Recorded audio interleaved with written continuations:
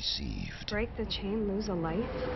A chain letter? It's pretty extreme, don't you think? I just delete them as soon as I get them. Delete. We all got these chain letters. Who sent this? Whatever you do, don't break the chain.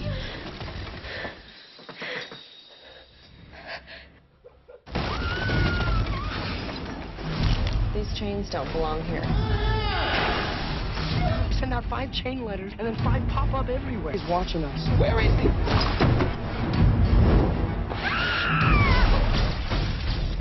Chain letter.